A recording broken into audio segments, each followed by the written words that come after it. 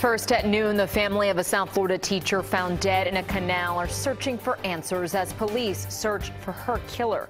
The 41 year old mother of two was missing for nearly two weeks before her body was found, and now the investigation into her murder is just beginning. CBS 4's Peter D'Oench is live in Miami Gardens where he spoke to the victim's mother. Peter. Lauren Kameela Russell's mother is speaking out for the very first time.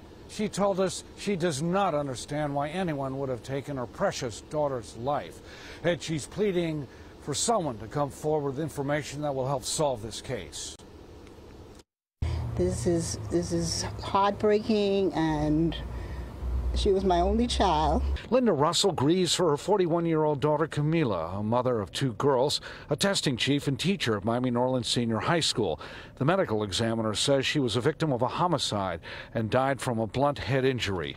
I just hope that somebody out there can help me uh, to have some closure for me and, and her two girls.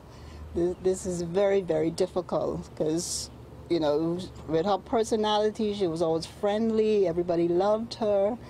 And for this to happen, it's like it's a total shock. Kameela Russell's body was discovered near her aunt's home on Saturday in a canal at Northwest 15th Avenue and 207th Street.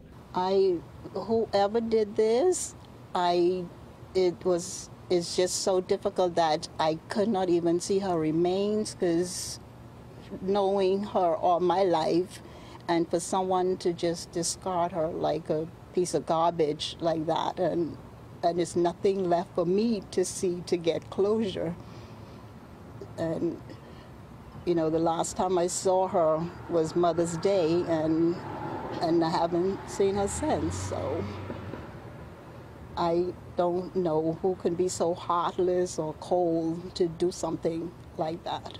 I miss my daughter so much. I don't know what's going on, and I'm just begging, pleading the public, please, please, if you know anything, if you saw anything, please come forward, you know, and let the police know.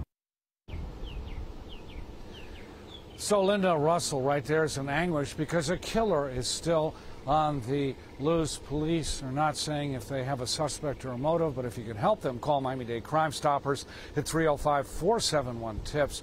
There's a reward of up to $3,000. We're live in Miami Gardens. Peter D'Oench, CBS 4 News. Lauren?